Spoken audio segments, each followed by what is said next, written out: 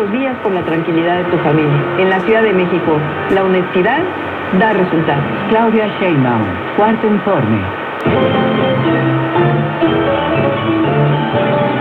XED. Calidad radiofónica para usted. Las grandes de la B. Regresamos.